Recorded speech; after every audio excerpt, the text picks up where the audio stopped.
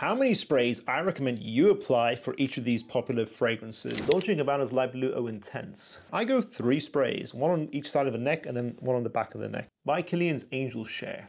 I would recommend four sprays for Angel Share, one on each side of the neck and one on each uh, inside of the elbow as well. It's one of those fragrances you really want people to smell because it's just so special and spectacular. Versace Dylan Blue. I think this fragrance has been reformulated. I go six sprays with this. I think it's gotten weaker. With this bottle, I'm getting maybe six hours with a soft medium projection. It's quite sad. I wish it was a little bit stronger. You would need less sprays, but go for it and it should be fine. You can apply on clothes as well to improve that performance.